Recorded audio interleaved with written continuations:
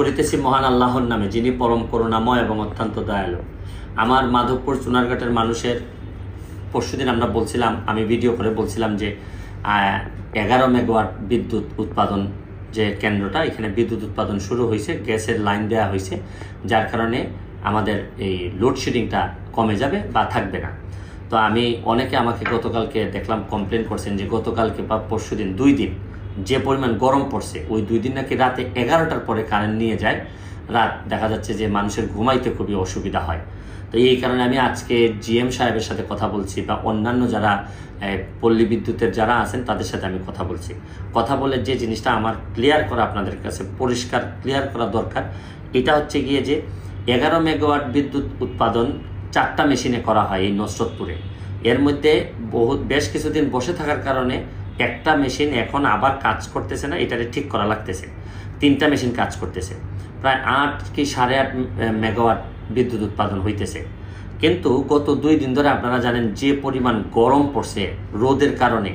দেখা যাচ্ছে যে আমাদের বিদ্যুৎ ন্যাশনাল গ্রিডে কিছু কিছু জায়গায় নিয়ে যাওয়া হয়েছে। এখন সমস্যা হচ্ছে গিয়ে যে আমরা তো একটা অঞ্চল, হবিগঞ্জ অঞ্চল ধরেন। জাতীয়ভাবে যখন প্রয়োজন পড়ে, তখন চাইলেই কিন্তু আমরা এই বিদ্যুৎ আট বিদ্যুৎ আটকাইতে পারি না। কারণ যিনি সরকার আছেন, তাকে তো সব জায়গা দেখতে হয়। তারপরও আমি বিভিন্নভাবে চেষ্টা করতেছি যে আমাদের এলাকার একেবারে যেন আমাকে ডিপ্রাইভ করা না হয়, বঞ্চিত করা না হয়। তবে উনি আমাকে আশ্বস্ত করেছেন। যে পল্লী বিদ্যুৎ আমাকে আশ্বস্ত করেছেন যে একটু ওয়েদারটা যদি একটু ঠান্ডা হয়ে যায় এইরকম বৃষ্টি গরম যদি কমে যায়, তখন আর লোডশেডিং হবে না। তো আমি বিশ্বাস করি যে প্রতিটা মিনিট আপনারা যখন আমার এলাকার মানুষ কোনো ব্যাপারে কষ্ট পান, আমার উচিত বা আমার দায়িত্ব যে আপনাদেরকে এই কষ্ট কেন হচ্ছে বা কেন কমতেছে না অথবা কমানোর কি উপায়, এগুলো এমপি হিসাবে জানানো আমার দায়িত্বের মধ্যে পড়ে। তো এই জন্যই আমি বারবার আপনাদের সামনে মোবাইলে ভিডিওর মাধ্যমে আসি। এর চেয়ে ভালো উপায় নাই, আমি বলার কোনো সুযোগ পাই না।